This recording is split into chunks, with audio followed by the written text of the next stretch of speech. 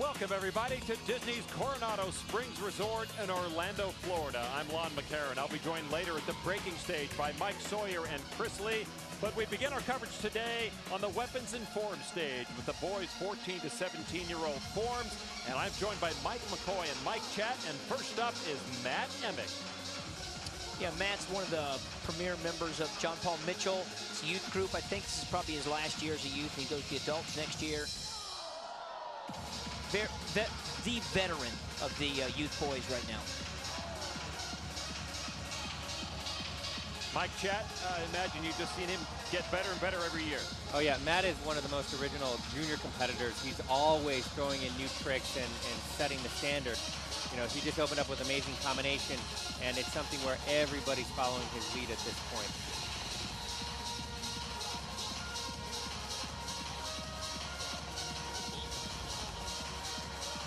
As usual, Matt Emig exciting the entire crowd here in Orlando.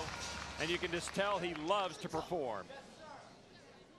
And once again, another exciting performance, Mike Chat. Let's check it out. Butterfly twist, round hook into a rise. Corkscrew always has a signature opening combo.